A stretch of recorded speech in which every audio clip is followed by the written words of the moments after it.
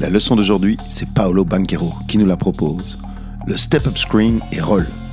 Le step-up est un écran en montant. Les joueurs des Orlando Magic sont placés dans une logique de 5 joueurs dehors. 5 joueurs à hauteur de la ligne à 3 points en fer à cheval. Banquero s'arrête à quelques centimètres du défenseur de son meneur pour placer l'écran. On voit que l'intérieur d'Orlando est au top, ce qui enlève son défenseur de l'aide défensive. Juste après le contact, Banquero roll vers l'anneau.